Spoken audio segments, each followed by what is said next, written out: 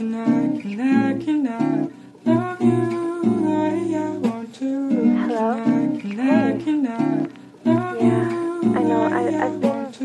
meaning to call, but I've met someone else, and I, I love him.